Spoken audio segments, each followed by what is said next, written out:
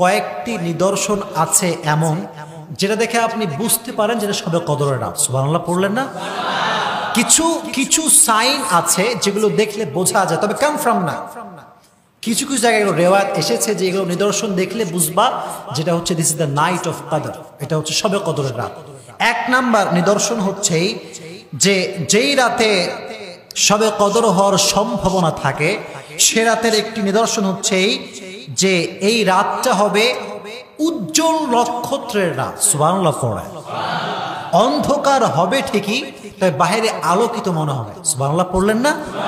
এক নাম্বার নিদর্শন। তাহলে যেই রাতটা দেখবেন যে বাহিরে উজ্জ্বল নক্ষত্রের মতো সব আলোকিত চমকাচ্ছে, মনে করতে পারেন যে এটা হয়তোবা it's not confirm it's might be এটা হতে পারে যেটা সবে কদরের রাত। তাহলে এক নাম্বার নিদর্শন, অন্ধকার থাকলেও চতুর্পাশ আলোতে জলমল করবে। বাংলা পড়ায় number one sign number two হচ্ছে, ইবনে হাজার আল আসকালানি রহমতুল্লাহ আলাই বলেছেন সবে কদরের রাতের একটি বড় নিদর্শন হচ্ছে এইরকম যে চতুর্পাশে যেদিকে আপনি তাকাবেন মনে হবে সব কিছু আল্লাহর শেষদায় অবনত আছে। সুবহানাল্লাহ, পড়ে।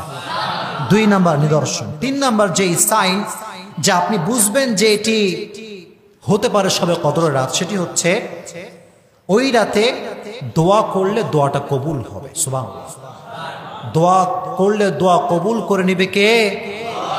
বেশি বেশি দোয়া করবেন সবে কদরের রাতে। এজন্য তিন নাম্বার নিদর্শন হচ্ছে দোয়া করলে দোয়া কবুল হয়ে যাবে। এটি হচ্ছে সবে কদরের রাত হওয়ার একটা নমুনা, নিদর্শন। তবে আপনি কনফার্মলি বলতে পারবেন না যে এটাই সবে কদরের রাত। এটা কখনো বলা যাবে না। এটি হচ্ছে কয় নাম্বার? বলেন না কয় নাম্বার? তিন নাম্বার। চার নাম্বার যে বিষয়টি খেয়াল রাখবে সেটি হচ্ছে, সবে কদরের রাত যেখানে হওয়ার সম্ভাবনা বেশি, সেই রাতের শেষের দিকে। কোন দিকে? বৃষ্টি হওয়ার সম্ভাবনা বেশি। কি হওয়ার সম্ভাবনা বেশি? গতকালকে বৃষ্টি হয়েছে না? কালকে কিন্তু বৃষ্টি হয়েছে, তাই না? ঠান্ডা ঠান্ডা পরিবেশ ছিল কালকে? তো শেষ রাতে না হোক কিন্তু বৃষ্টি কালকে হয়েছিল। আমি শিওর না, আমি জাস্ট বলছি আর কি।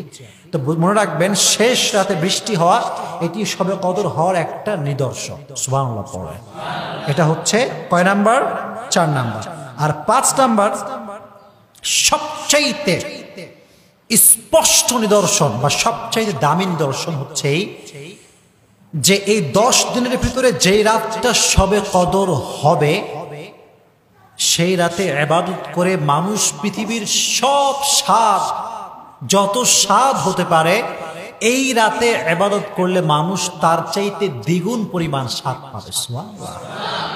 মানে সে একটা তৃপ্তি পাবে, যা, একটা তৃপ্তি আছে, একটা মজা আছে, একটা ফিল আছে। তাহলে যদি আপনি ফিল করেন যে আমার এবাদত করতে খুব মজা লাগছে, আপনি মানে ভাবতে পারেন যে এটা হতে পারে কিসের রাত বলেন, এটা কিসের রাত হতে পারে?